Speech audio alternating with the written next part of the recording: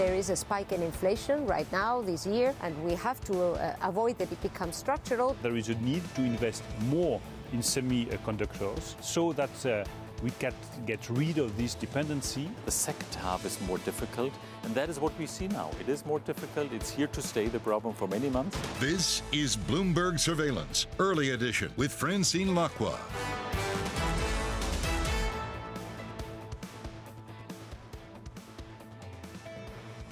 Well, good morning and welcome to Bloomberg Surveillance Early Edition on this Monday, the 6th of September. I'm Francine Lacqua here in London, and here's what's coming up on today's program. Disappointing jobs numbers, well, the smallest increase in seven months adds to uncertainty over the Fed's taper timeline. The U.S. is, of course, closed for Labor Day. Aluminium surge prices hit a decade high as a coup in Guinea fuels concern over supply of a key raw material. Plus, we're live at the Munich Auto Show. Don't miss our conversations with the chief executive of VW and BMW, plus many, many more. Now let's get straight to the markets. European stocks actually gaining this morning along U.S. futures. Of course, investors now betting that a slower hiring in the U.S. may delay tapering. That's after a very disappointing jobs report on Friday. 235,000 payrolls were actually added in the month, around 500,000 short of estimates. Now, you can see a little bit of pressure on the stocks European 600. I mean, not pressure, but it's not gaining by that much, 0.5%. Just a reminder, uh, cash treasuries are closed today, as is most of the U.S. in terms of volumes. We're expecting a pretty thin volume trading session. Here are some guests reacting to that jobs report this was a materially lower number. It's a weaker report. First read is, is definitely this has some Delta variant uh, on it. This is the long game right now coming out of a, a, worldwide pandemic. There's one huge red flag for me in this payrolls report. The hospitality number and the restaurant number. Zero jobs were created in leisure hospitality. We had almost zero gain this month in, in that area. You'll get some bounce back here in September. The market's looking through this and seeing, hey, this is temporary. Tapering is still very much on the table. The Fed is going to taper. The market is now pushing back any sort of Fed taper announcement to November, maybe December. They don't need to rush into it. And the most important thing not to lose sight of here is the emphasis that that tapering is not tightening. Well, joining us now to talk about that jobs report to the Fed and inflation is our Eddie van der Walt of Bloomberg Markets Live. Eddie, I enjoyed talking uh, to you about inflation in between also our chats on pets. I mean, the, the market reaction to that huge miss from NFP was pretty, pretty bland. So it was a really mixed report, wasn't it? Wasn't yeah. it? Because I mean, on the one hand, yes, jobs growth was really slow, but on the other hand, you know, you had that in that, that boost to inflation from average hourly earnings, which is just really hard for the market to interpret. And frankly, for the first hour after the report came out, the market didn't know what to make of it, right? We had stocks up, we had stocks down. Good news was going to be bad news, and then people thought, well, listen, yes, no, this bad is so news. bad yeah. that it's actually bad. Um, I, I, you know, I think it's going to take, even now, I think people are struggling to interpret it, and I think we are going to wait for Fed speakers to come in and right. start to tell us what to make of it. Right. I mean, what do you make of it? Is it, you know, can it, it can't be only seasonality, but actually the fact that it was the end of August, does it, you know, contribute to some of the volatility that we could have seen? I think some of that. I also think that, I, th- I think that if this is, if, if the job growth was slow because there, you know, there's, there's a lack of openings, I'd be uh, very worried. But openings are very high. I think what's going on is companies are struggling to fill positions. I think that's what's what's happening here, and I think for that meter, for for that reason, it's more inflationary than people think, yeah. and it's it's probably a more optimistic view of the economy overall. I think you know there are people who are holding out for the right kind of positions, but there is a there is a there is friction in the job market, you know, with high unemployment and high openings, and that is a conundrum that the market is is struggling to interpret. It, it, could it be actually a huge shift on how we look at the labor market? So if it's struggling to fill in positions, does the structural basis? I don't know whether it's pandemic and so people want to work from home, so you don't go after. Does it actually point to a changing labor market that could confuse the Fed? Right, I think so, and I, I think I, you know, I, I don't know that that's those structural issues are going to be short term either, right. because you know a lot of people uh, got furloughed, um, lost jobs for other reasons, and. I think, you know, and the, and the, kinds of jobs that they see opening up as delivery drivers, as these sorts of things, you know, and now uh, in, in restaurants as those reopen, uh, you know, it might not be the, the, the, kind of jobs that they are looking for. And I think, you know, people might and you know, as long as we keep stimulus going, um, people might be happy to, to, to, to, to, to not take the first opportunity that comes up. So I think these, these are going to be difficult issues to solve. Um, so, Eddie, we have a, a, pretty big week actually ahead of us. I mean, today, so the U.S. markets are closed, so we're going to get probably thin volumes, not much going on in treasuries.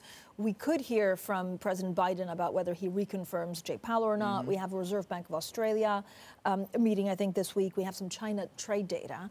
What's your next data point? For me, it's, I was, you know, for me, it's all about the Beige Book. I think for me, it is all about anecdotal data and high frequency data and these sorts of things because the high frequency data showed us before Friday that the jobs report might disappoint. And I think the, the but the Fed will Fed speakers will want to talk, you know, to people and find out what it is that is that is causing the trouble in the labor market, and that will inform their view a lot. I think as we go towards uh, September. I, I, know you look at commodities, and you know today there's a huge swing in aluminium, and this is because there's been a coup in Guinea. We'll talk about the, the politics of it in just a second, but it means that there's a scarcity of bauxite, right, which is right. used to make aluminium. Right. How long can this last? So, I mean, I think. The, how long the specific issue lasts, I don't know, but it is it does underline just how difficult supply chains have been in the commodity markets, right? And the moment you see a small disruption, a disruption like this one might not have caused the price to react quite as much. But the fact that we've got port closures in China, that we already have stretched supply chains, and so on, I think that just causes these knock-on implications, which which hurts the which pushes the price significantly higher. Eddie, thank you so much uh, for the update. Eddie van der Walt there from our Bloomberg Markets live team. Now, let's get more on the story. Aluminium has climbed to the highest in more than a decade. This is as political unrest in Guinea fueled concerns over supply of the raw material needed to make the metal. Well, joining us now is Bloomberg's Paul Richardson. Paul, good morning. So what do we actually know about this so far? The situation on the ground is pretty calm at the moment. After the coup yesterday, the coup leader issued a state, statement last night saying that he's going to be meeting the members of the ousted cabinet um, to plot the way forward. Um, the key concerns, as Eddie was touching on a short while ago, um, are what the impact is on um, transport in and out of uh, Guinea from the mines, the bauxite mines, the, the, um, the gold mines, and the, um, the iron ore mines in Guinea. Um, so is this likely to actually cause lingering uncertainty in the region as a whole, Paul? Sorry, say it again. How much uncertainty does it cause to the, to the rest of the region? Look, uh, West Africa is, has been a fairly unstable region in recent months. Um, we've had coups in places like Mali, um, Chad, and um, Gambia. Um, there's a potential response coming from the regional economic bloc, the Economic Community of West African States. They may impose trade sanctions on the um, the coup leaders. Um, that could further constrain supplies of bauxite from Guinea to the world market. The, that said, there is there's not that much support for the the ousted president just because he, when he came to power late last year, he had um, asked, he had sought a third term after having a constitutional um, referendum to amend it to allow him to continue serving. So he's slightly unpopular in the region, and the question is just how hard ECOWAS, the regional bloc, will push to have him removed. All right, Paul, thank you so much for the update. Paul Richardson there on Guinea. Now, stay with Bloomberg Surveillance Early Edition because later on in the program, we discuss the latest on the German election. As the SPD is said to aim for a coalition with the Greens, today we'll discuss a climate issue. The DIW president and the head of ESG at Bayern Invest join us today. If you have any questions for our guest, please IB plus TV Go. You can also tweet me directly. This is Bloomberg.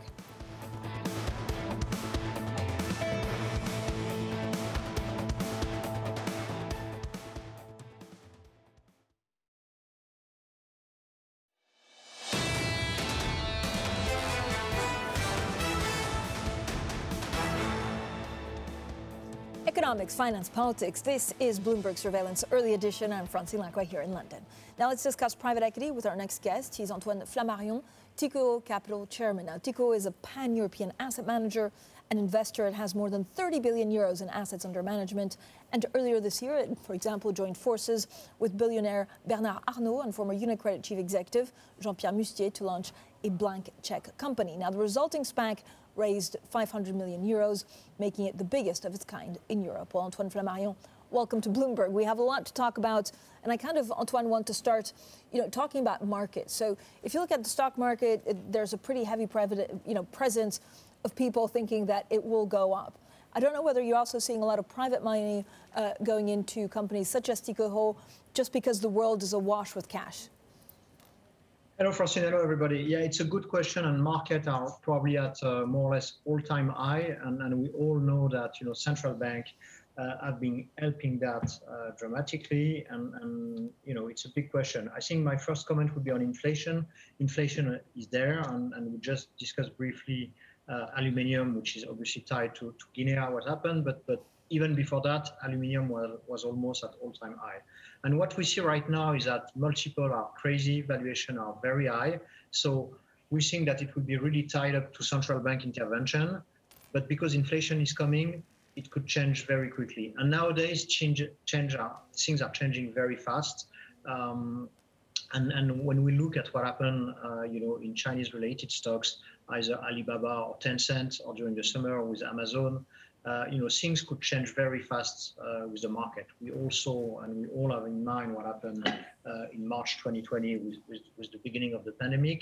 Uh, but I think the mm-hmm. velocity of the market uh, evolved. So on our side, we are probably cautious, uh, but there are tons of right. opportunity on the other end as well, and I, and I come to that in a minute. So, Antoine, do you have any exposure to China with any of your deals? If the market, I mean, you seem to suggest that the market is going to move very quickly. I know you're committed to, for example, defense, you're committed to ESG causes. Like, how nimble and how quickly do you need to change tack when there are either supply chain issues or, or there's, you know, cracking down in China? Yeah, you know, out of our 31 billion of AUM, uh, we only have 4.5 billion of, of liquid assets. So the remaining uh, remain private assets, private equity, private debt, uh, real estate. So you know, obviously our investment pace is a little bit uh, longer, and we are not obliged, you know, to change the cursor. I mean, Tikehau is not a hedge fund uh, per se. So so you know, we try to anticipate the long trend. Uh, our exposure in Asia is mainly done through our Singaporean uh, office, um, but we've got limited uh, exposure to, to Chinese stock or Chinese economy directly. We've got indirect exposure.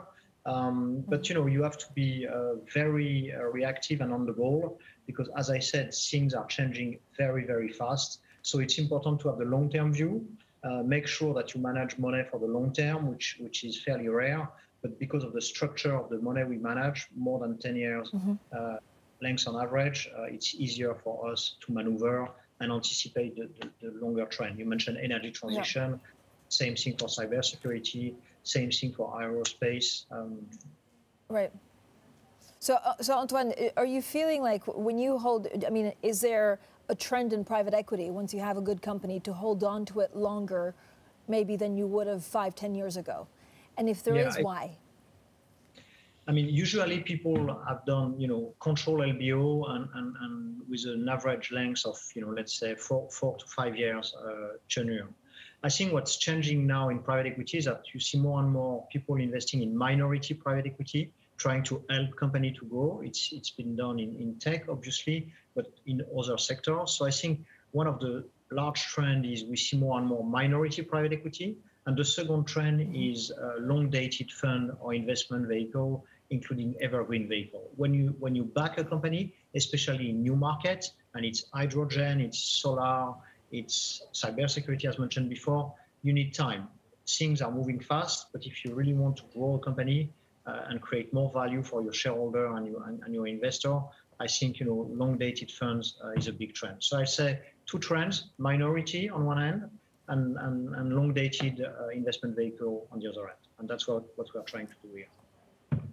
Antoine, when you look at some of the, the green investments that you're talking about, and we see that in asset management, I know you're longer term and longer trend and more ingrained in the real economy, but how do you avoid greenwashing? So you mentioned hydrogen. You can have blue hydrogen, you can have green hydrogen. And how fast you know, will this sector actually move with renewables and prices? So where do you find the best value right now? I think first of all it takes time. So what you saw in the last two to three years is that a lot of people uh, have been, you know, uh, doing some greenwashing and, and, and, entertaining the fact that you know they became suddenly green. But we know that it takes time. Uh, so first of all, it takes time, especially if you have legacy assets and all the large institution, banks, asset manager, you've got legacy assets. So it takes time uh, to change that. Um, you know, we used to say, you know, it's important to innovate, and, and, and here at Tikehau, we've been really trying to innovate. So, for instance, we launched uh, energy transition uh, back almost five years ago. So it's not 20 years ago; it's only five years ago. Uh, to do that, we partner with Total, which has been a very early mover, uh, despite the fact that they've got obviously their own legacy asset, oil, gas, and all that. But we started five years ago, and now we start seeing the benefits uh, because there are more and more foreign companies uh, entering there. But it takes time. You know, it's uh, uh, even if it's the, the flavor of the month, it takes time, and, and people have to be patient. Antoine, talk to me a little bit about you know some of the, the sector funds that you have in, in defense. I know you're also involved, for example, in Asa Aerofondo in Spain. So how do you see this industry evolving? Yeah, and, and you mentioned trend in private equity. What we see is minority, long-dated fund, and you start seeing sector-focused fund, which is a little bit new because usually people, investor would like to invest in more you know diverse pool uh, of assets. We're seeing that you know, because things are changing fast and because of the pandemic, uh, some sector became suddenly super appealing. And, and aerospace, and we've been involved there, um, is, is, one obviously uh, of, the, of the key sector. So we decided to partner uh, with industrial, which is something we do at Tikehau. So we partner with Safran, Airbus, Dassault, Thales, and we launch an aero fund in France and one in Spain uh, as well. And you know, the idea is, is really to invest in this vertical with the right industrial partner, the right team, obviously, uh, because when you have mm-hmm. people doing aerospace all day long, teaming up with the largest uh, company in the world, then you know you, you can consider that probably you're going to do better investment. But, but, but the, sec- the sector has suffered a lot, obviously, as we all know. Uh, but you know you have to be contrarian, and, and, the best way to create value for your shareholder and investor is to be contrarian. And, and I think this uh, sector-specific fund uh, was an obvious thing uh, for us and for our DNA. Uh, and that, that's been, Antoine. you know, yeah, go ahead. No, go ahead. No, no, no. I was, I was saying, you know, it, it has been, you know, defensive because the sector was, was, was turbulent.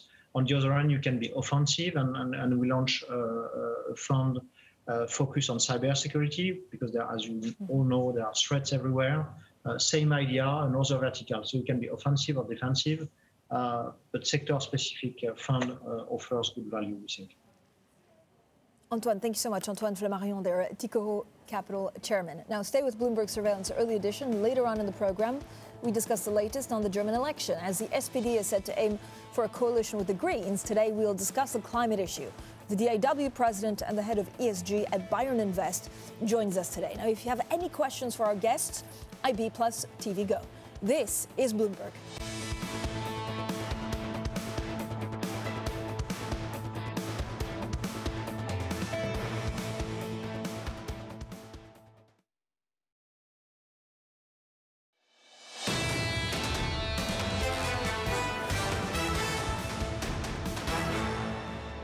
Don't think that it should come as any surprise that there is a spike in inflation right now this year. We are not concerned by uh, the current level of uh, inflation uh, in the EU or everywhere in the world. Inflation is uh, very much influenced by energy prices, and food prices. All the institutions consider that it will be a transitory feature and we have to uh, avoid that it becomes structural. We think that this increase is a temporary one we are monitoring it and we should monitor it very accurately, uh, but without um, going to uh, conclusions too soon. We remain vigilant, but we are not concerned. It is a natural feature of a very strong recovery that we're witnessing. European finance minister is speaking about inflation at the Ambrosetti Forum in Italy. Now let's get straight to the Bloomberg. First word news, here's Leanne Gerrans. Hi, Leanne. Hi, Francine. The Taliban say they have captured the northern Panjshir province, the last pocket of resistance standing in the way of complete control over Afghanistan. A spokesman for the group said opposition fighters had now fled the province. The Taliban are expected to announce details of their new government soon. The UK's biggest business lobby has criticised the government over labour shortages, warning they could last as long as two years. CBI Director General Tony Danker says a perfect storm of Brexit cutting the supply of workers from the EU and the pandemic have left many sectors without the staff they do need. The CBI wants targeted immigration to fill job gaps. The London Metal Exchange will reopen its iconic Ring Open Cry trading floor today after closing it 18 months ago due to the pandemic. The Ring is the last spot in Europe where traders still set benchmark prices by shouting out orders at one another. But many fear that volumes will be sharply lower than before the closure, possibly making the Ring's continued operation uneconomical. Global news 24 hours a day on air and on Bloomberg Quick Take, powered by more than 2,700 journalists and analysts in more than 120 countries. I'm Leanne Gerrans. This is Bloomberg. Francine. Leanne, thanks so much. Now, coming up, Germany's election is looming on the horizon. Environmental issues, of course, have been key battleground for parties. We get the latest on that next with our German election special. This is Bloomberg.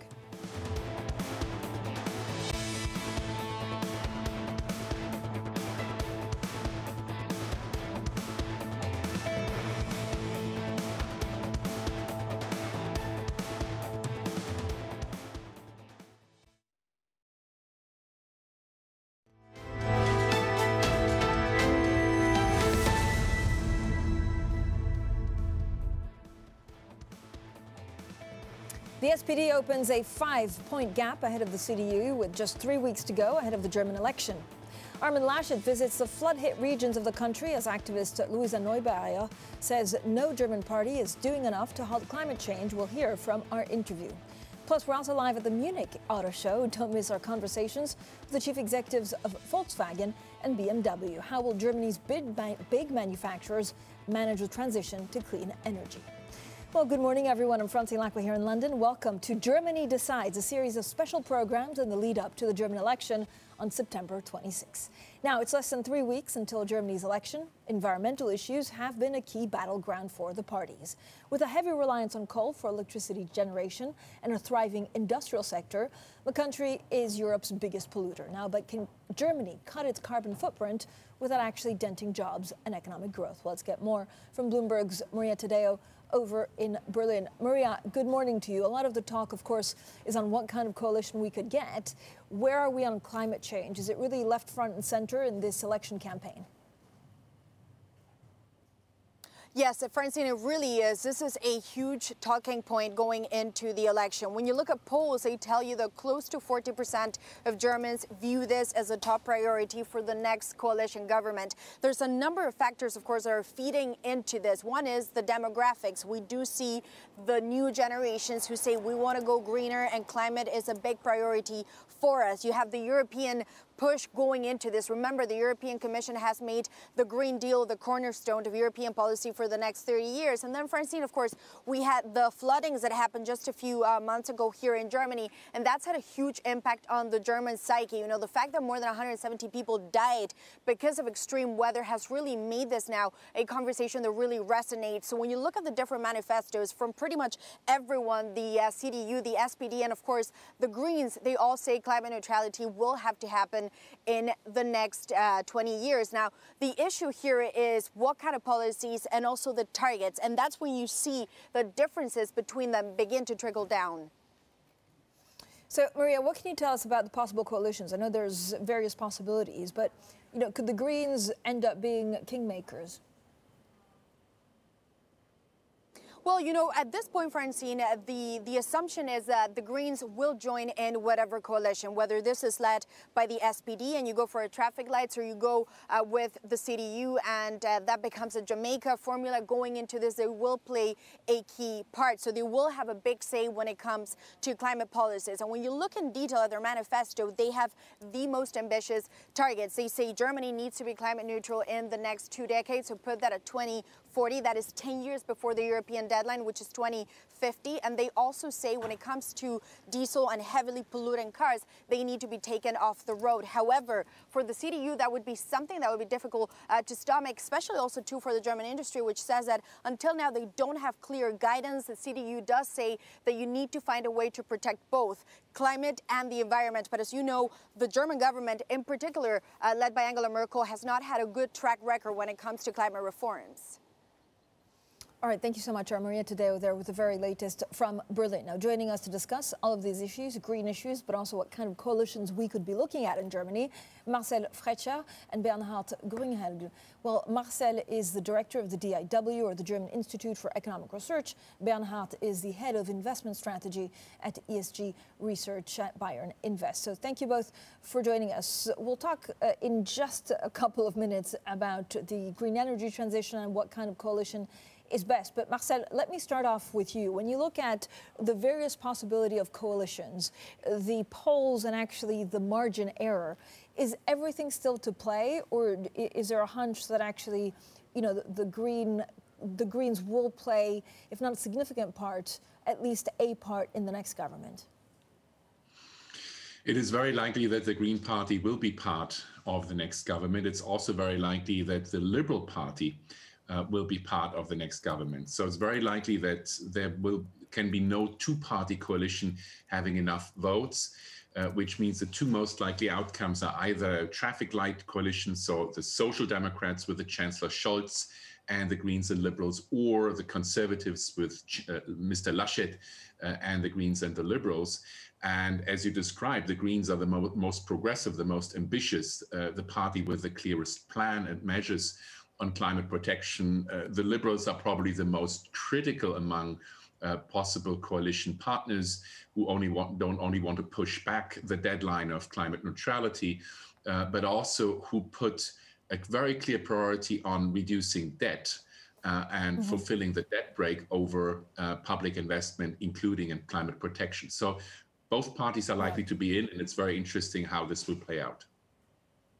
Bernhard, when you look at the main issues, what do you think people will actually vote on you know, come September 26. So there, there's a lot of talk, there's, you know, polls, but September 26, you're a mom or a dad or, you know, a single 20-year-old Berliner, and you're, you're about to actually decide who you vote for.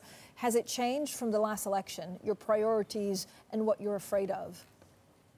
I would definitely say so. Yes, um, climate um, issues are high on the agenda, even not um, top on the agenda of, of most um, elected um, of most people, and especially, of course, in, in among the younger um, people, it, it's high on the agenda. Uh, but so is also the fiscal and tax policy and the social security system. So we have a couple of uh, important issues at these elections at stake, and it's in the end, um, it's it's interesting to see how how the um, government um, will will form and how the coalition negotiations will translate into really into the into the politics uh, that are and then um, pursued by the new government. But in the end, we have a, a lot of um, interesting topics, and um, climate policy is, is high on the agenda for sure.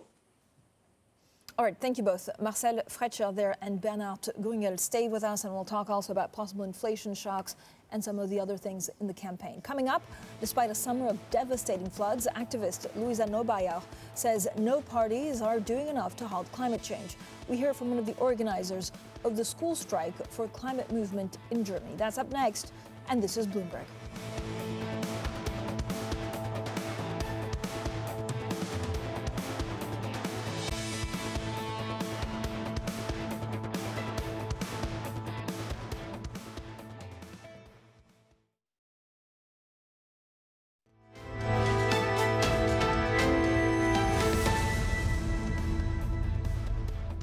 Economics, finance, politics. This is Bloomberg Surveillance Early Edition. I'm Francine Lacqua here in London.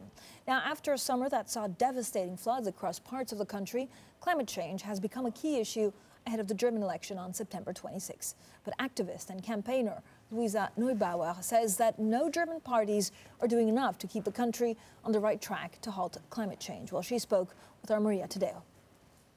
Speaking of one of the richest countries in the world, we are speaking of one of the high emitting countries in the world.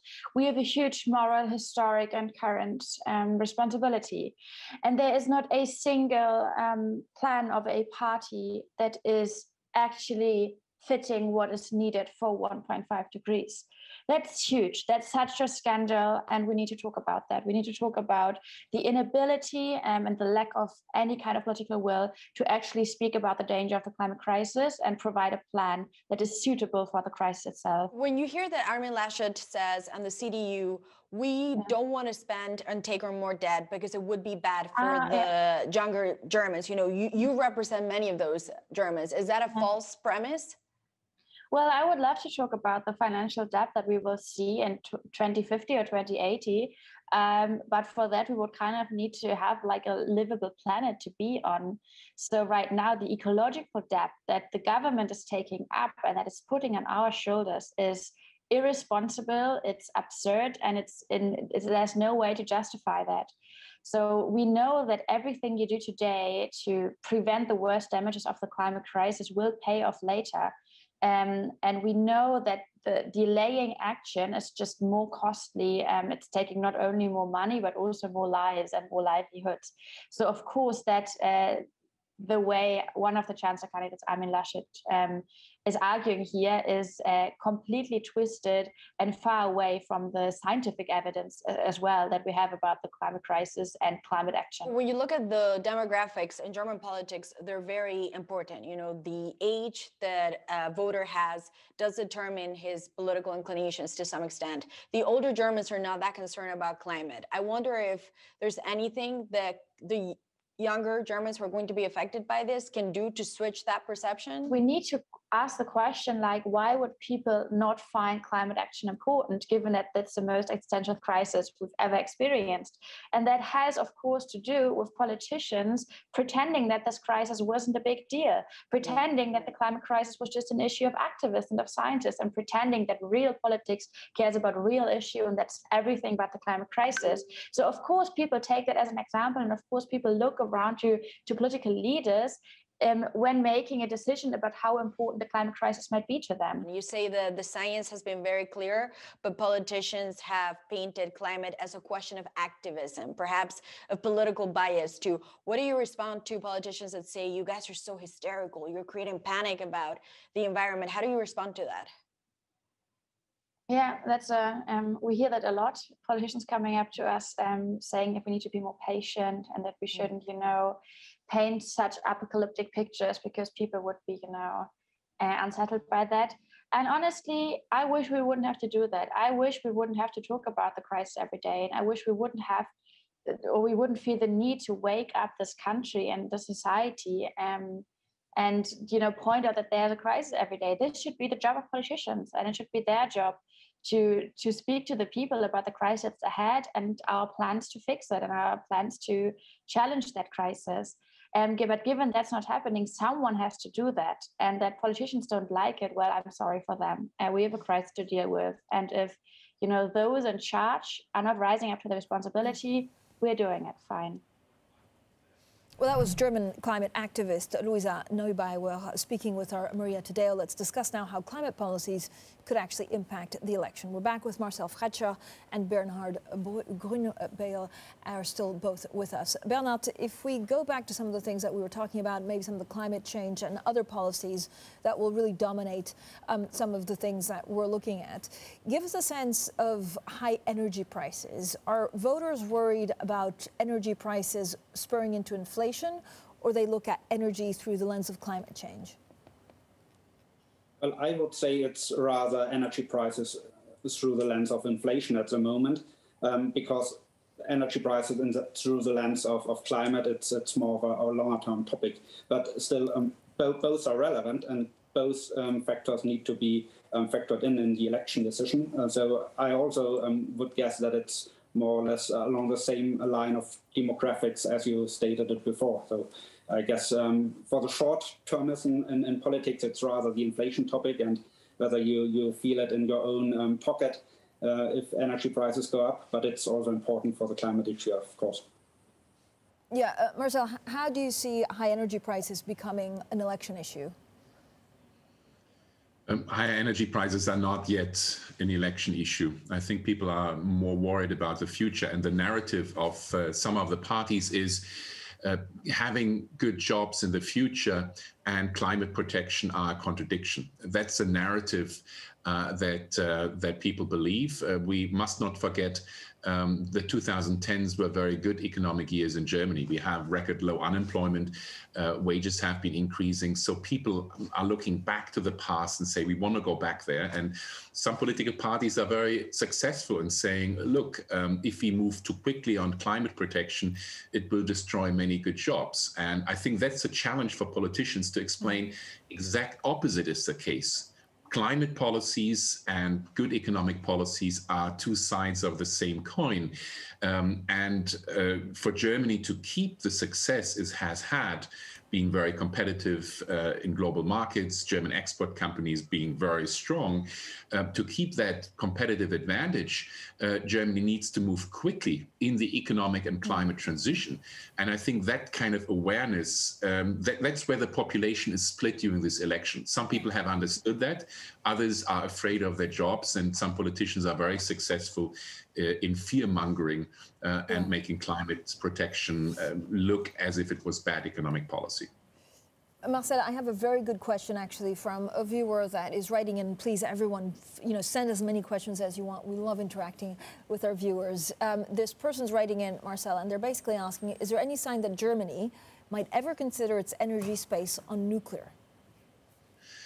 Um, there are discussions. As you know, Germany um, took a decision, the chancellor took a decision to exit nuclear power about 10 years ago after the, the Japanese uh, tsunami and, and nuclear disaster.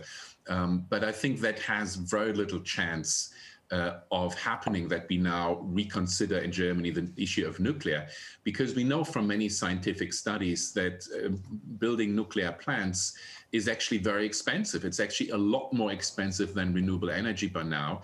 Uh, and um, so I don't see Germany um, uh, taking the path of, of uh, uh changing course. But of course, we have many other European countries like France uh, that build a lot of their production on, on nuclear power. And uh, I think we need to find a European solution to that. And um, I see the need for that to be phased out slowly. But for Germany, I don't think this is an issue. Uh, Bernard, do, do, you actually see, you know, nuclear coming back? And there's also a very good question, actually, on what the next German government can do for automakers, but also other industries to make the transition to a greener economy easier. agree with what uh, Marcel Fratzscher just said um, regarding nuclear stance of German politics. But we have to keep in mind um, that we need a, a European uh, regulation on that um, angle as well, because in the end, um, if I speak from, from a from a financial market perspective, we have the taxonomy in Europe, and there you need to define whether, for example, nuclear energy is taxonomy aligned or not. And I'm sure that um, there are parts of Europe who will, would, would love um, to, to have nuclear energy, um, yeah, rubber stamped as um, sustainable. And in Germany, um, we see it differently. So we have to to work uh, around this issue. And um, well, as it's usual in, in, politics, we will obviously see some some yeah middle way uh, I would say. Um, and in the end, um, German politics, I would say, for after the next election is uh, not changing course dramatically, but it's rather a question whether we will have um, more regulation and obligations for, for companies um, regarding climate policy, or whether we will have more incentives and subsidies on the other hand um, of, of the spectrum. And we need to, to position ourselves and find, find a middle way on that. And for the financial markets, we need to um, build portfolios that are robust on, on different outcomes of the election regarding that specific issues of, of climate policy. Okay. Thank you both for joining us for a good conversation. The DIW Director Marcel Fratzscher, Bayern Invest Head of ESG Research Bernard Grünäugl. Now, coming up, BMW boosts its battery orders on EV demand. Its chief executive tells Bloomberg the chip shortage is here to stay for months. Up next, we're live at the Munich Motor Show. This is Bloomberg.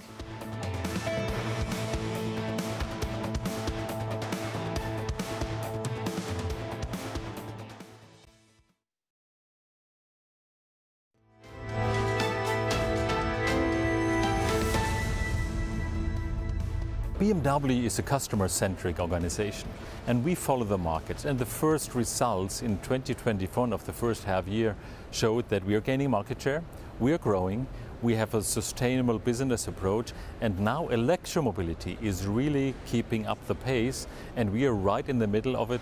You see it with the i4 and the iX, we, which we have here, which which uh, the, which which generate a really enormous response from the markets. So we are right in there, and we are very post, uh, uh, positive about our future.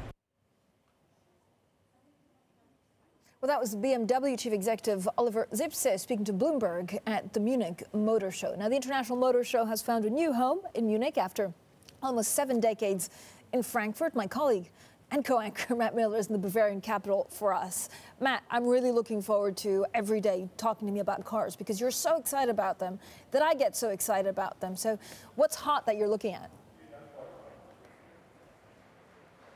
Um, well, it's hot. Well, you know, I just saw the new all-electric Mercedes G-Class, and I have to say that's probably one of the cars people are most excited about. It's only a concept right now, but we know they're bringing it out probably next year. Um, there aren't as many cars here as there are at a typical car show. At Geneva, at Detroit, at New York, you see a lot more vehicles. This conference is really, this um, this auto show is really more about the mobility side of things. So the self-driving technology, the battery technology, um, and the kind of mobility models, business models that um, car makers are counting on for a huge part of their revenue um, in the next decade or so. It's less about the actual iron and air, the metal and rubber um, that I usually get the most excited about, but there are still a few cars sprinkled here and there. You did tell me there were some really, really cool cars. So how much of the focus is now on EVs? You know, Matt, is it all about EVs or is there still space for like the, the more traditional, you know, diesel guzzling cars? it's mostly all about EVs. I mean, you heard Oliver Zipse there. He was talking with my colleague Elizabeth Behrmann about the fact that they've just put in a $24 billion order for battery cells. Um, it's also very much about chips. I think, you know, mobility is the stated theme of this um, car show, but the real talk is about when are we going to get the chips we need? How are we going to allocate those chips to the products that we're making? Are we going to get as many battery cells as our competitors? So it's really a scramble for supply chain, um, or supplies, I should say, as the supply chain faces bottlenecks and there's so much demand for these new higher tech products. I mean, I want to ask you how exciting it is actually being at a conference with real people around you, because I know we haven't done it in about 18 months. But I need to ask you probably about the chips. How much of a delay will there be, Matt? Well, you know what? The delay seems like it's worse than had been anticipated. I was talking with the CEO of Volkswagen, Herbert Diess, and he said, yeah, we were, we were hoping at the end of the summer this would be dealt with, but now we're in another crisis situation, and it could be months, it could be years before we've dealt with this. So they're doing as much as they can to produce. They're having um, to ask for government help in you know bringing chip manufacturing back to Germany, just as American manufacturers want to bring it back to the U.S. In terms of being at a show, um, being at an actual event, seeing people that I haven't Fun. seen since March of 2019, which is the last car show. It's exciting, but I think, you know, I've gotten about 20 messages from our HR department today because yeah. they're so worried that I might get COVID. Matt Miller. All right, Miller on the loose. Watch out. This is Bloomberg.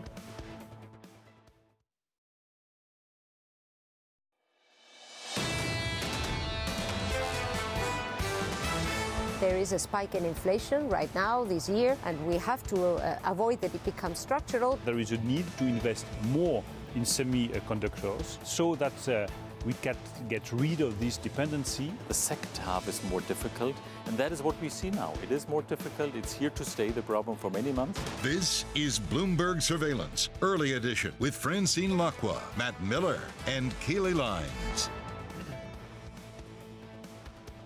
Well, it's 10 a.m. here in London, 11 a.m. Berlin, 5 a.m. in New York, and 5 p.m. in Hong Kong. Our top stories today. Disappointing jobs numbers, the smallest increase in seven months, adds to uncertainty over the Fed's taper timeline, while U.S. markets are closed for Labor Day. Aluminium surge prices hit a decade high as a coup in Guinea fuels concerns over supply of a key raw material. Plus, we're live at the Munich Auto Show. We'll bring you our conversations with the chief executives of VW and BMW, plus many more.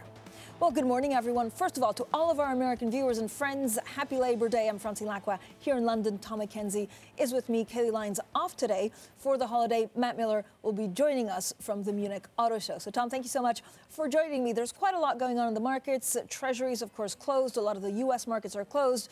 But after that NFP number, it'll be interesting to see exactly how market position themselves ahead of the uh, Fed minutes later on this week, or yeah, the beige book. Mm.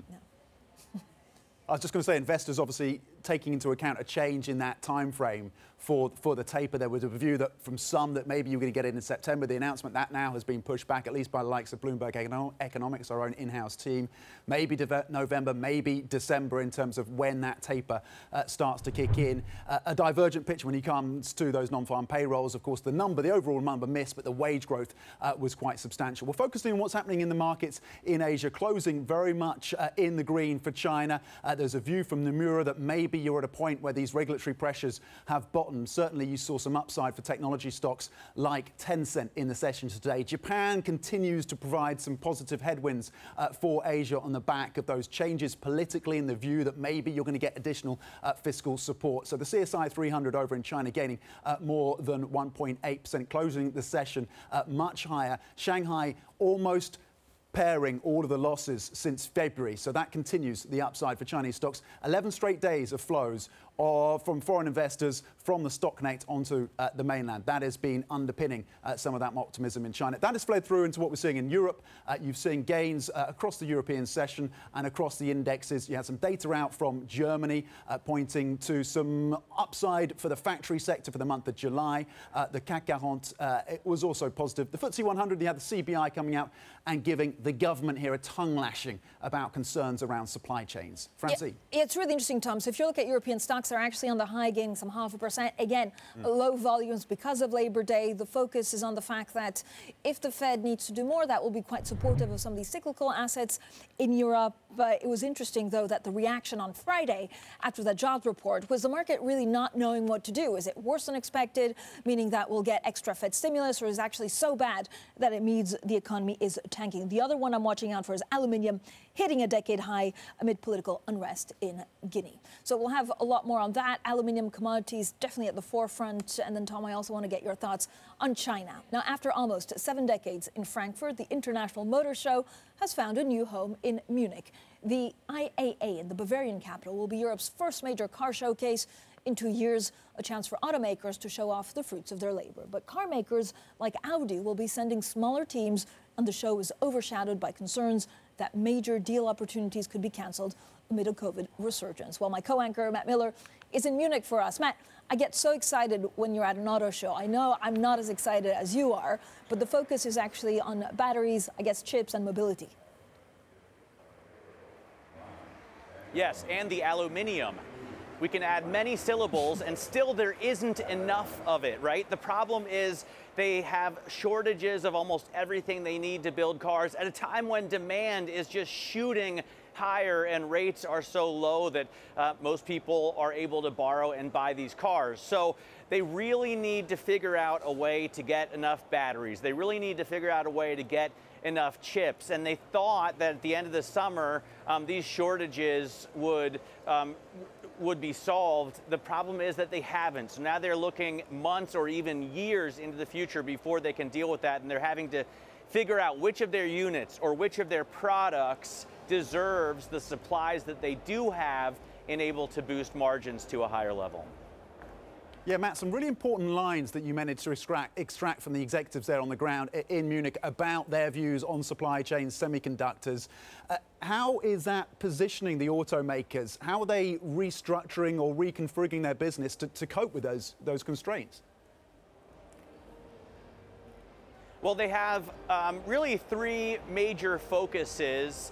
They might say two. One is producing more electric vehicles. So they're allocating the, what, uh, what supplies they can get to the electric vehicles in order to boost those sales. The other thing is uh, that they're focused on really is mobility. Um, they expect to get some of them 15 to 20 percent or even more of their revenue from mobility solutions. That's jargon for car sharing or taxi uh, ride service, ride hailing services, even delivery services. And then the third um, leg of the stool really is China. And this is, I think, where there's even less visibility because everybody wants to be a big player. Volkswagen is already the biggest um, foreign player in China, but no one really knows what regulation is going to be like going forward. And they all have joint ventures working with state owned companies. So they really need to be careful in China, but they can't avoid it and they really need to allocate their resources to mobility and EVs, which need, for example, both of those uh, a lot of chips. Miller, that's all well and good, but I want to know what cool little sports car you and I are getting to go on the surveillance early edition road trip, you know, ahead of the German election. I, you know what? I like the Polestar 1. It's not a brand new car, but it's very limited mm, in okay. production. They're only making 1,500.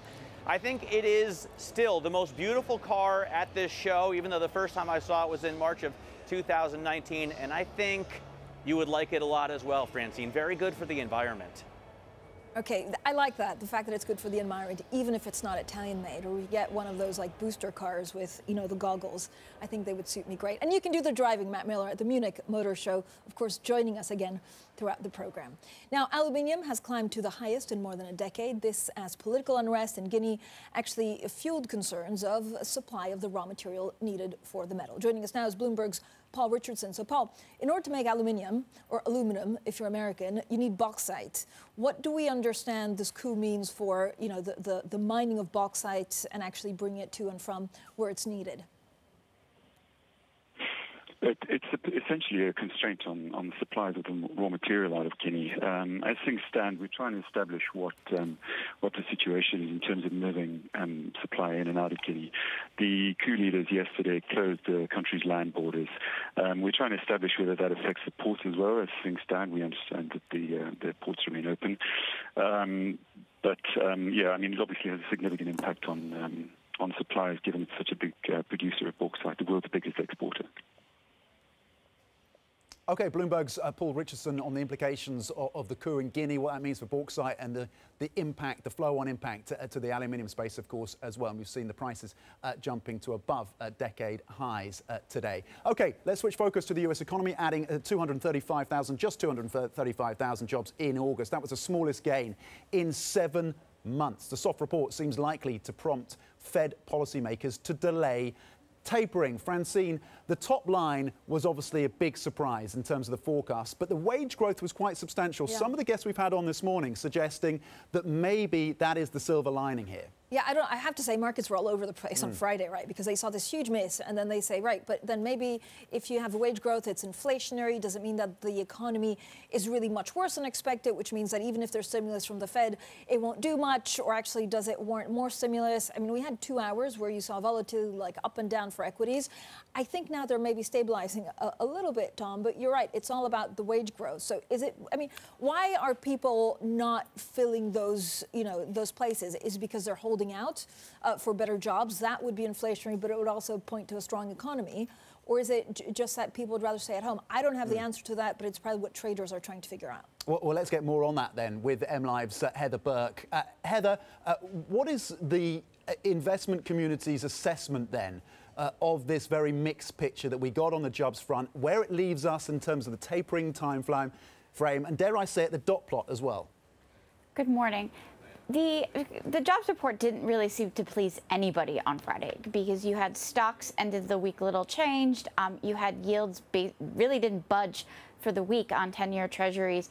Basically, you had this confluence of disappointing payrolls and also higher than expected wage inflation.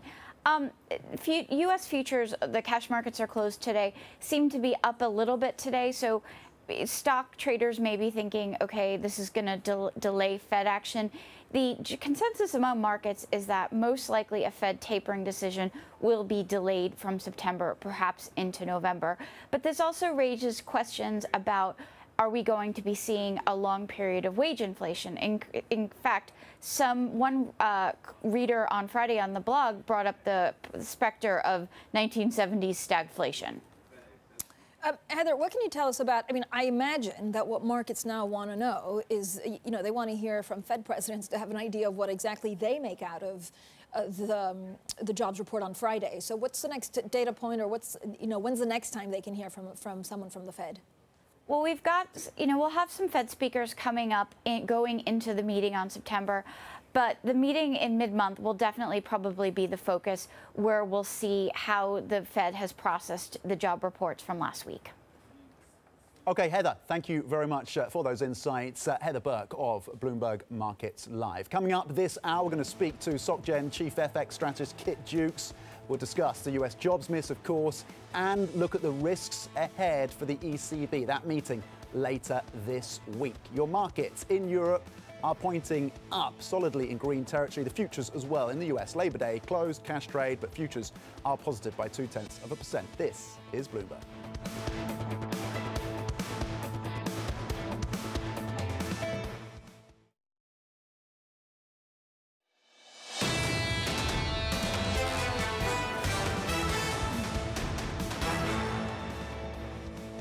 Is Bloomberg Surveillance Early Edition. I'm Francine Lacqua here in London with Tom Mackenzie. Katie Leinz is off today. Matt Miller is on the ground in Munich. So let's get straight to the markets. Again, thin volumes, or thin compared to other days, just because it's the 6th of September, which means that it's a bank holiday in the U.S. Happy Labor Day, everyone, if you're American near and far. Now, the NFP reaction on Friday, non-farm payrolls, was, I have to say, remarkably bland given that uh, what a large miss it was. That was according to our Mark Cudmore. Today, European stocks actually rising. U.S. equity futures also rising at the margin. Investors now betting that a slower hiring in the U.S. may delay tapering by the Fed and uh, also look at aluminium hitting a decade high amid this political unrest in Guinea. Now, joining us to talk about the markets, NFP, to talk about inflation and everything in between is our Eddie van der Walt of Bloomberg Markets Live. Eddie, always great to speak to you. We also have the ECB on Thursday. But what's the main question that you want answered after that non-farm payroll number on Friday? Yeah, I, look, I'm going to disagree a little bit with my boss here, Mark Cudmore. I think um, I, it's interesting that yes, the closing level for the markets on Friday was, you know, muted. It was a fairly unspectacular. But during the trading session on Friday, it was there was a lot of excitement, and it was clear that traders were struggling to interpret that non-farm payrolls, uh, you know, read, um, particularly because, you know, we've had job jobs numbers that were so disappointing and wage inflation that was such a big beat again. So I think this is really interesting. And, I, you know, I think back to your point, the, the most interesting thing for me going forward will be anecdotal data because the market needs to interpret and needs the Fed to interpret for them just exactly what it is that is going on in the underlying economy. Are we actually heading for this stagflation um, scenario? And for that reason, I think the beige book uh, is going to be the absolute most important thing this week. Eddie, are you seeing positioning around that stagflation trade? You know, it was really interesting on Friday because what we saw was we, we didn't see uh, the uh, break even rates move an awful lot. We saw uh, um, nominal yields, you know, bouncing on the news. And then at the same time, we saw gold bouncing on the news. We saw really different, uh, different readings on this. And I think the market just doesn't know what to make of it, uh, heads or tails. Uh, what does it mean for inflation, Eddie? So you could, you know, it's either a positive because you say, okay, inflation is high, and this is what you were telling us before. Maybe people just want to hold out until they have their dream job, or it could be a huge miss because actually the economy is losing a lot of steam. Yeah, I think so. I think that is the problem, right? I think we, we don't know. I think, you know, I did a poll on Twitter the other day where I asked people, look, where are we? Are, we at the, at the you know, are we still in recession? Uh, where are we in the, in the business cycle? Are we still in recession? Are we seeing, um, you know, the early expansion phase? Or are we between double dips? And, and, and people don't know. Uh, I got a, such a wide range of responses on that. I think, you know, I think this is the problem for the Fed. The Fed does not want to take the stimulus away too soon. But at the same time, they are starting to see the whites of the eyes of inflation. And therefore, you know, they, they, they don't want to keep the, their, their foot on the gas pedal for too long. Mm. Eddie, I just want to get your views on the dollar. It's a surprise to some, maybe, you're seeing the strength that's coming through. Currently, euro dollar, for example, 118.60, 63, so lower uh, on the back of on the back of a stronger greenback. Uh, despite the fact that the tapering question has been pushed out, arguably, what, what does it mean for, for emerging markets, particularly uh, where the, do- the dollar direction at this point? Oh, the dollar is everything in markets yeah. right now at the moment, isn't it? I think you're absolutely you nailed it there. Listen, I think um, I think that you know the dollar, the dollar is the ultimate haven play. Um, in markets at the moment. And because people are struggling to interpret that uh, NFP number, I think there is a little bit of a bid on the dollar. What I'm interested to see is that the dollar, you know, is doing well, and at the same time, gold is doing well. So I think that's a that's that because that's not something that we see very often. There's there's a real split at the moment in how the market is interpreting this.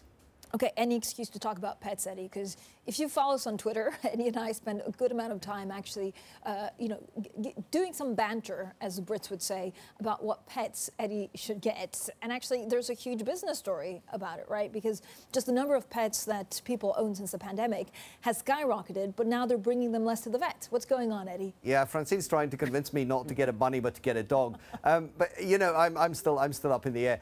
Uh, there, has been huge demand for pets uh, ever since the first lockdown, and it's you know we're seeing some of that feed through into the stock into the stock markets. Uh, pets companies and pet supply companies have been doing really well, but now the narrative is as people go back to their uh, you know to their offices and so on, perhaps some of that demand you know for pets and for pet supplies will start falling. I don't know if that's true. I mean, you know, if people have already bought the pets, they, they're still going to have to, you know, buy the supplies for, for a number of years in the future. We shall see.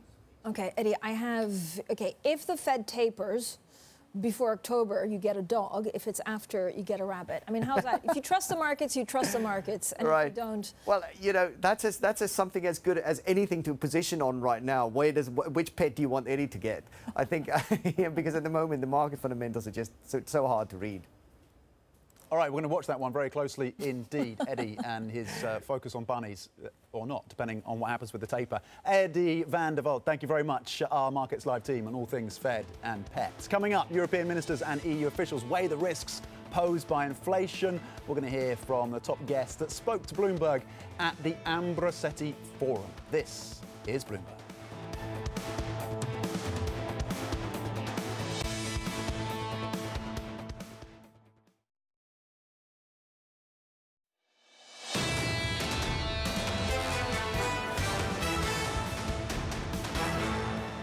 Is Bloomberg Surveillance Early Edition. I'm Francine Lacqua in London with Tom Mackenzie. Kailey Leinz is off today, and Matt Miller is on the ground in Munich. To our American friends far and wide, happy Labor Day. Now let's get straight to the Bloomberg. First word news and the price of aluminium climbed. That's something that we keep on looking at, climbing to its highest in more than a decade following a military coup in Guinea.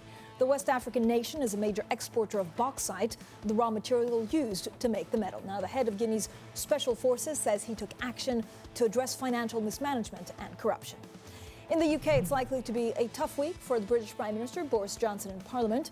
Today, he'll be forced to defend his handling of the Afghanistan crisis. Plus, Johnson faces a backlash from his own Conservative Party over reports he's planning or he is planning a tax hike on workers for boosting funding for social care. Well, that's something the party has pledged not to do. President Biden's chief medical advisor says booster shots against the coronavirus are likely to start only with the vaccine by Pfizer and BioNTech. While Anthony Fauci told CBS the Moderna shot may be delayed, those comments may lead to more clarity on the administration's stance. While some medical experts are unhappy over what they see as political interference in the review process for the shots. And it was a record breaking weekend for the first Marvel film featuring an Asian superhero. Now, the Disney movie Shang-Chi and the Legend of the Ten Rings took in more than $71 million at theaters in the US and Canada.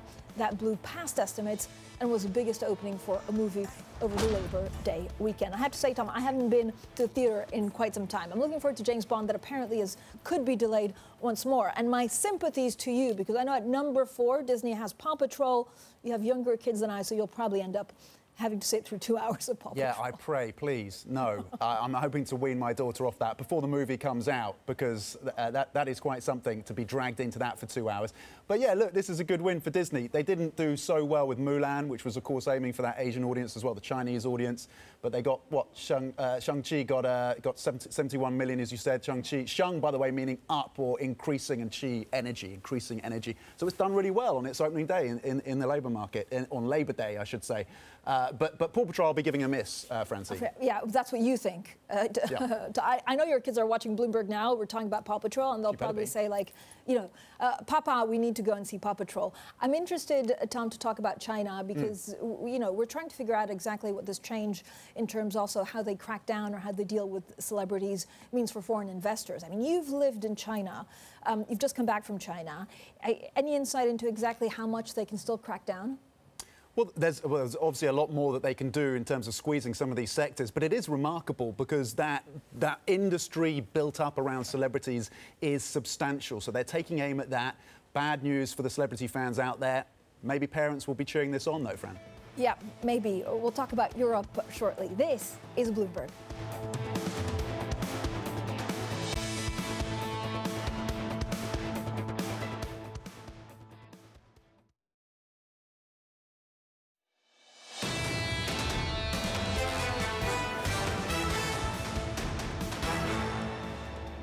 This is Bloomberg Surveillance Early Edition. I'm Francine Lacqua here in London with Tom Mackenzie. K Leinz is off. Matt Miller will be joining us from the Munich Auto Show. Tom, first of all, uh, good morning and thank you so much for being with us. I know a lot of people are off in the US because it's Labor Day, which means that a lot of traders are off. Also, treasuries aren't really open in terms of cash treasuries. So, actually, volume is going to be pretty thin.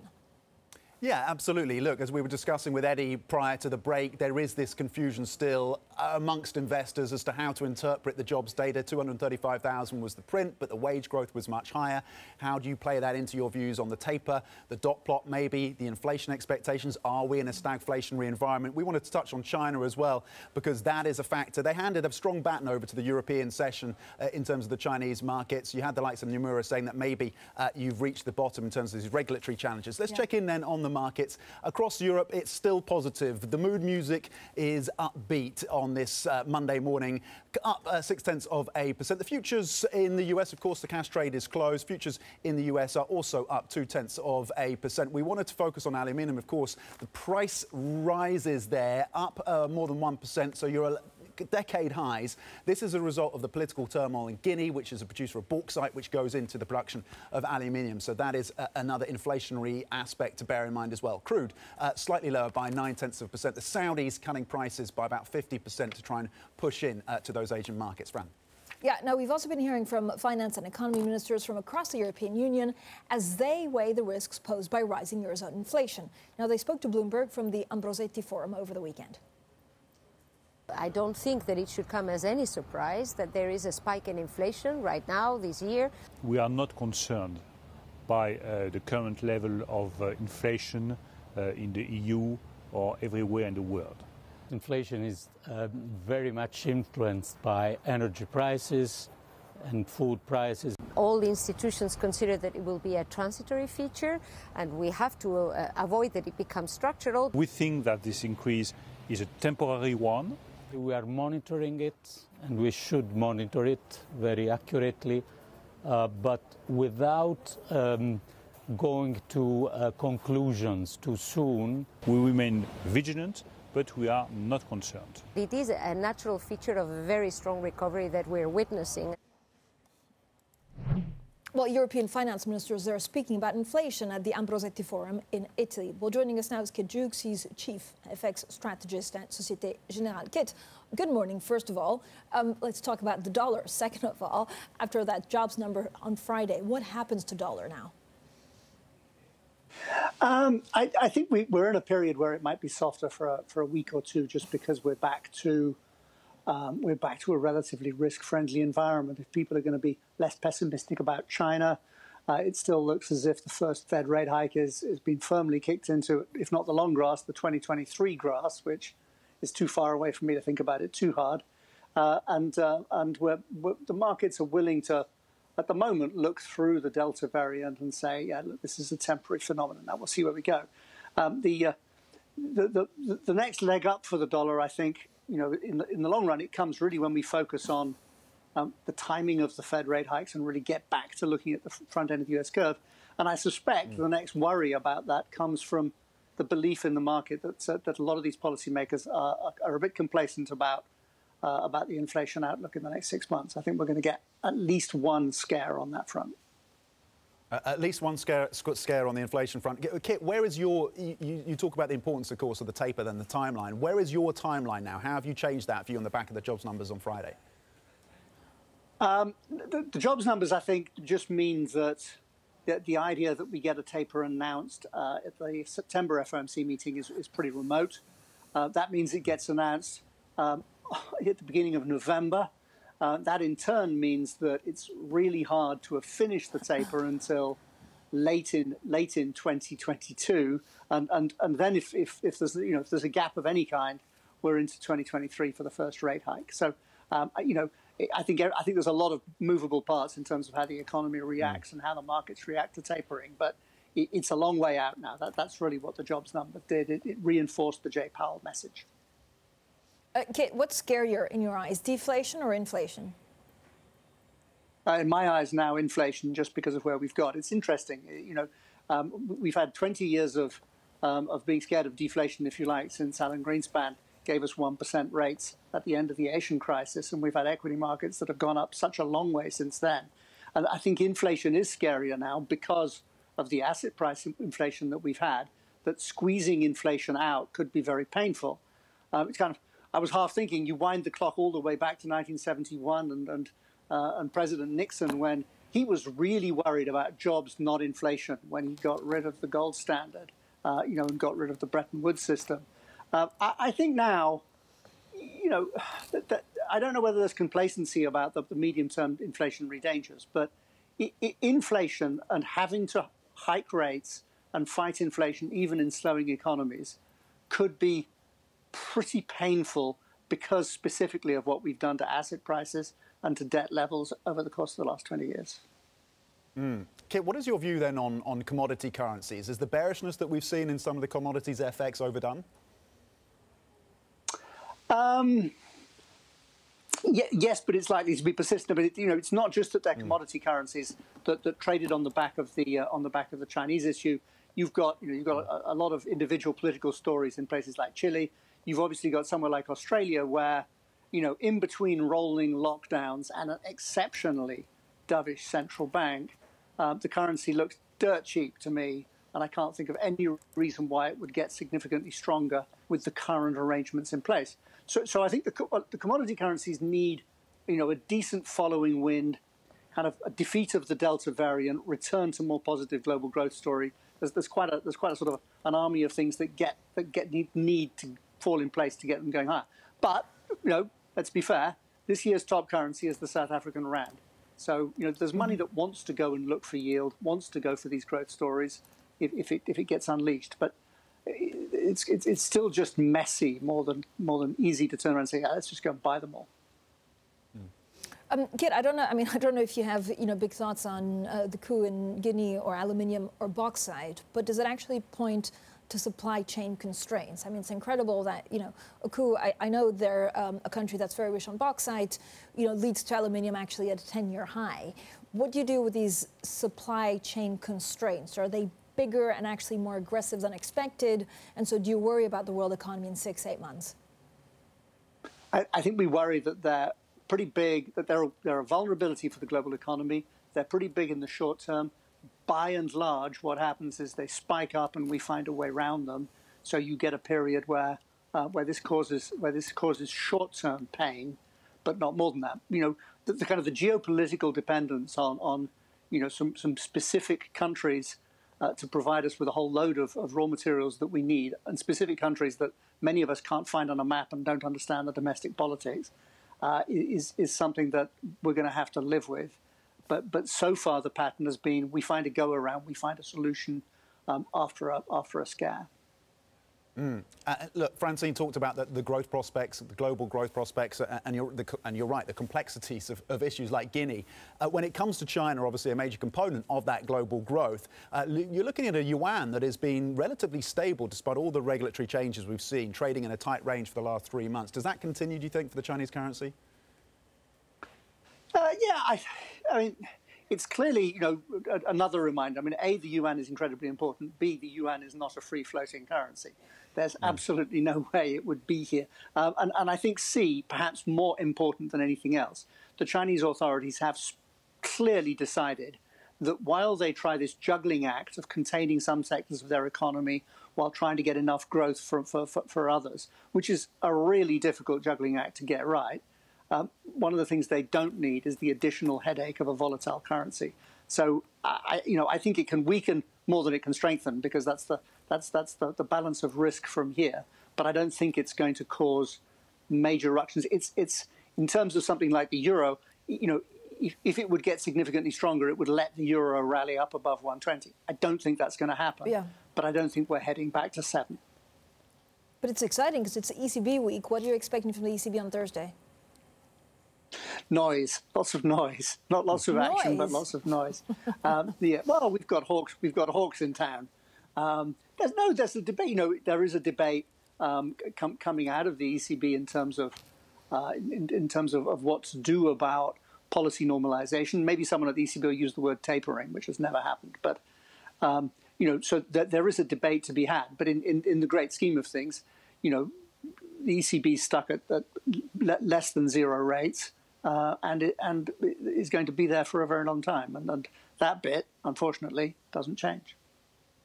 Okay, we'll have to brace ourselves for that noise, hopefully cut through some of it when the ECB meets later this week. Kit, thank you, as ever, for your insights. Kit Juckes uh, joining us there from SocGen. Okay, plenty more ahead. Stay with us. This is Bloomberg.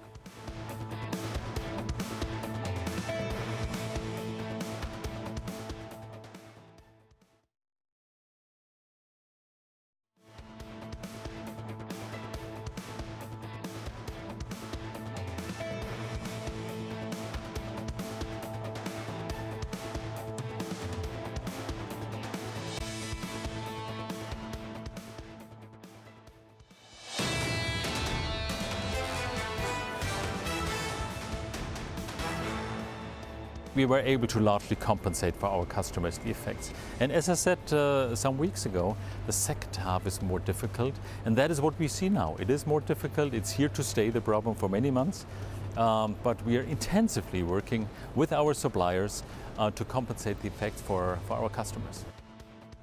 We will remain in shortages for the next months or even years because semiconductors are in high demand, Internet of Things is growing, and the capacity ramp up will take time. So it will be probably uh, a bottleneck for the next months and years to come.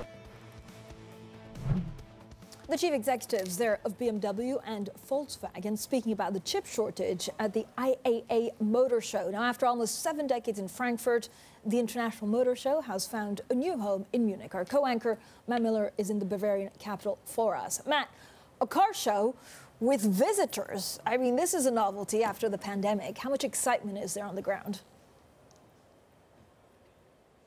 It is pretty exciting, actually, and um, the auto show is pretty full of visitors. Obviously, it's mostly press and um, you know corporate guests today, but there are a lot of them here, and there really aren't very many cars here. In fact, a lot of car makers haven't even bothered to come.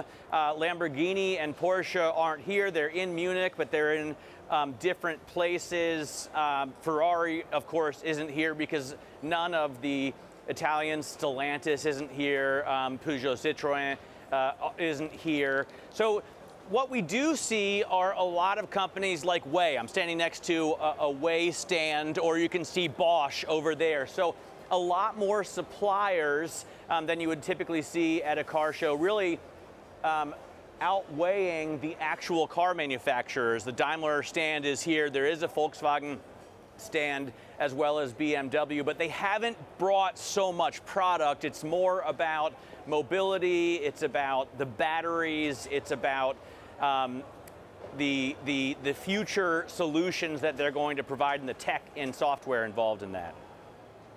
Yeah, that in-car entertainment uh, seems to be in focus then with, with those suppliers on the ground there. Uh, Matt, what are you seeing from, from the Chinese car makers? Um, you know, I haven't really seen anything from the Chinese car makers. Huh. Are there Chinese car makers mm. here? I'm not really sure. My attention instantly goes to the bright and shiny new objects with a star or uh, you know a propeller. I see BMWs, Mercedes, and I overlook the Great Wall or whatever the Chinese car makers are called. One thing I have seen, and I know that you know this, and many of our viewers um, will have figured it out as well, is a Swedish product that is owned by a Chinese car maker. So we were talking about Polestar. Mm. I think it is the most beautifully designed uh, new car you can get right now, the Polestar 1. It's an offshoot of Volvo. It was a sub-brand, and now they're um, separating themselves a little bit more with an IPO soon. But of course, that's owned by Geely. So I guess that counts. Does that count as a Chinese car maker? Yes. I'm going to say yes, an authoritative yes. So that's like exactly. I mean, we're talking about Polestar because we're looking for a surveillance early edition car, but you're telling me that it's it's less about the new cars. It's more about you know green. It's more about batteries, and it's more about mobility, Matt. Yeah, absolutely. I mean, uh, everyone's trying to get as many batteries as they can. BMW said they're putting in $24 billion worth of orders for batteries. Everyone's trying to figure out where to send the chips they can source. So Herbert Diess, you know, he's got to decide, do I give the chips that I have to the Volkswagen brand, or do I give more of them to Bentley, Lamborghini, Bugatti, and uh, Porsche? Um, you know, he's got a lot of, uh, uh, of managers under him that are saying, you know, give them to us. We need them. And the chip shortage isn't going to be over anytime soon. The CEO of BMW, Oliver Zipse, just told reporters he says it's going to last at least another six to 12 months. Hmm. So we're in for a, a, a long, bumpy ride in terms of the supply chain.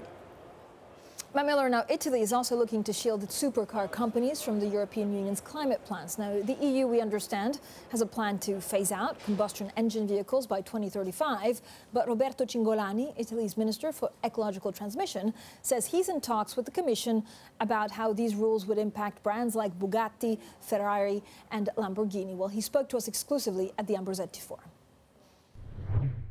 The government is fully uh, committed and supporting the idea that we have to phase out the combustion engine by the 2035 around that, that period. This is under discussion at the moment, and we are working on a, on a very large market.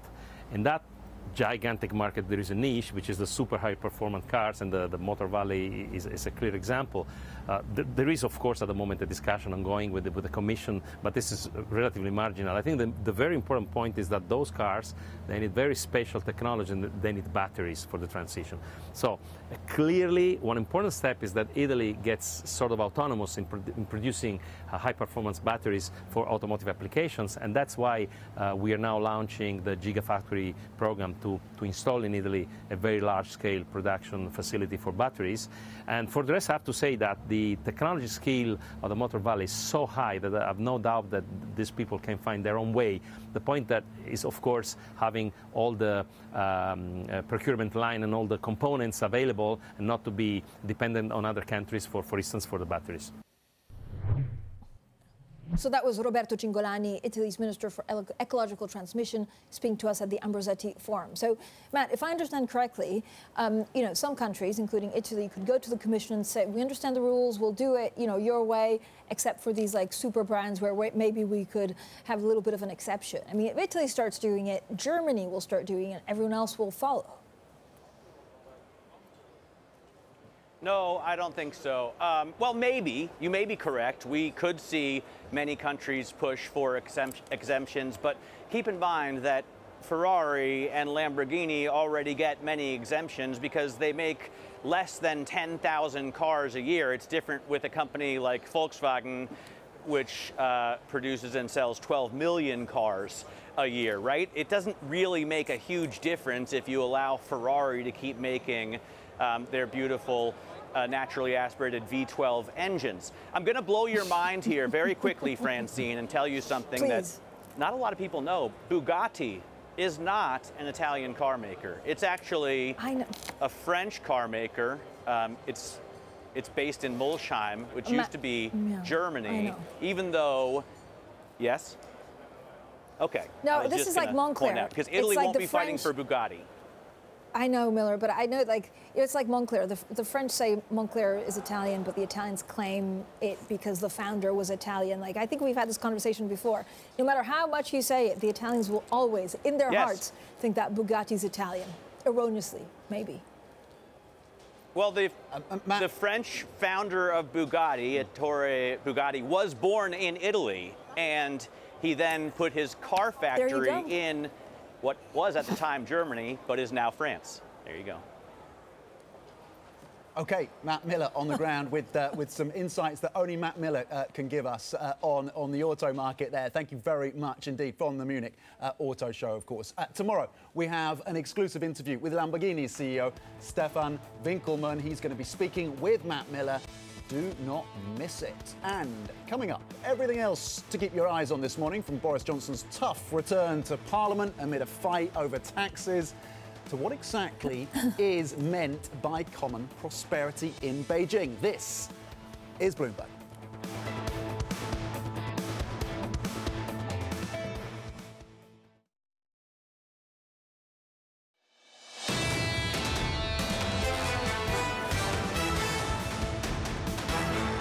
This is Bloomberg Surveillance Early Edition. I'm Francine Lacqua in London with Tom Mackenzie. Kailey Leinz is off today for Labor Day. Matt Miller on the ground in Munich for the auto show. Now, look at what else we're watching today. And I'm looking at the UK. I'm looking at uh, what Boris Johnson's possible tax changes actually mean for uh, everyone, from businesses to, of course, some of the people that live in this country. What's interesting is that the UK Parliament is returning this week, and he really is facing a backlash from member of the Conservative parties amid some of the reports that he's planning a manifesto-breaking tax hike on British workers, and that would be to boost funding for social care. So we look, um, Tom, to see whether this has any impact, of course, on pound, and then we have a pretty packed agenda for the rest of the week. What's on your radar today? Yeah, so talking about taxes in the UK, that segues nicely to what's happening in China, where our team on the ground in Beijing have been interviewing uh, someone called Li Shi, Professor Li Shi, who is a professor of economics at Zhejiang University. Now, the reason he's important is because he's an advisor, has been an advisor uh, to the Chinese government on uh, prosperity, on, on inequality, crucially, and how to close that gap. And he's been saying that taxes and the reform of the tax system in China, particularly property tax, could be key to that. But he says you only need to do that. You can only do that when the economy is booming.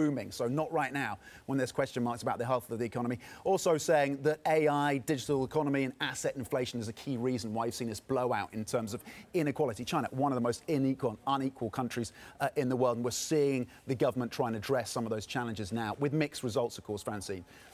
Um, we can check in the markets as Yeah. well in terms of how things are shaping up. It's been a broadly positive day, largely actually as a result of a handover. Uh, it's solidly in the green from China. Uh, the CSI 300 closing up uh, around 2%. Hong Kong was positive, well, tech shares uh, in the green. So you're seeing uh, European shares up 5 tenths of a percent. The futures over in the US, happy Labor Day, of course, uh, gaining 2 tenths of a percent. The cash trading is, of course, uh, closed uh, Yeah. today for, for the Labor Day holiday, Francine. Tom, I'm looking forward to the week. Actually, it's going to be a, a pretty busy week. So, uh, you know, U.S. markets are shut for Labor Day, so people are off. And then it's this week that we could hear from Joe Biden, who he appoints, or if he keeps Jay Powell, or whether he appoints a new uh, Fed chair. Then we have the uh, Reserve Bank of Australia. We have China trade data. I love hearing you talk about China because you understand it more than anyone. And then El Salvador's Bitcoin law takes effect this week as well. So it's going to be a busy week. Tom, thank you so much for joining me this morning. Surveillance next.